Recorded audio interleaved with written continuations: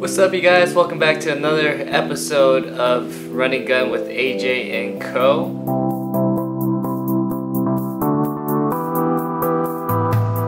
So in today's episode, we're going to be diving into a little bit of our lighting, our audio, and also our main setup.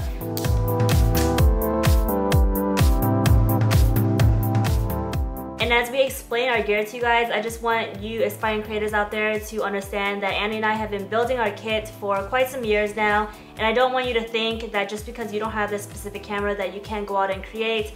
Andy sometimes shoots solely with his iPhone and can still create amazing content with it. So be resourceful, use whatever you have, and it's not always about the camera, but whatever you decide to create. First up is camera bodies.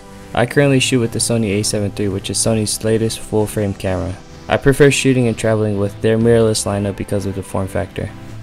Jalen currently shoots with the 1DX Mark II, shooting at 20 megapixels for stills and 4K 60 frames for video is exactly what we need to shoot our campaigns. Aside from the usual DSLRs, you also have your point and shoot cameras. They're great for vlogging and capturing those moments while being a little more discreet. And not only are these cameras compact, but some are even capable of shooting 4K. As mentioned in the beginning, don't be discouraged if you don't have a full DSLR camera. Create moments with anything that you have. Next up are lenses. Without going into too much detail, we both love our 1635s. Aside from that lens, we primarily shoot with prime lenses. If you're interested in crisp detail, fast apertures, and bokeh, primes are the way to go. 20, 50, 85, 100, and 135 is our go-to setup. The 100mm is one of my favorite primes. It'll help you with getting shots like this. And of course, one of the most important elements are your memory cards. In our case, we find 128 gigabytes the perfect amount for shooting both photo and video. An important tip to remember is to always dump your footage of course and to format your card between each shoot. This is probably my favorite section of this video, stabilizers. If you're into smooth motion and action footage, you need to grab one of these. I've been using stabilizers since the GlideCam 2000. If you stabilize almost any camera, you'll get some sick footage. Cameras such as the iPhone, RX0, and even a full-size DSLR. Tripods are also a must. Trust me, you'll need one of these.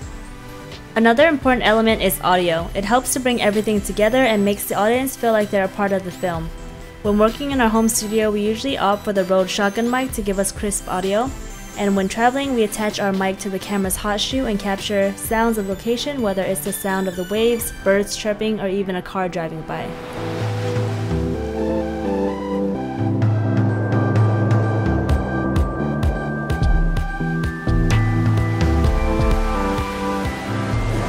Alright you guys, so this pretty much wraps up episode number two. We hope that this is helpful information to you guys. And we hope that the biggest takeaway from this is that gear is really important, but at the same time, don't let that stifle your creativity. Go out and shoot, go out and explore with what you have, and be resourceful. It's not about the stove, it's about the chef. You know what I'm saying? You didn't ask Picasso what kind of paintbrush he was using. Yeah. Gang!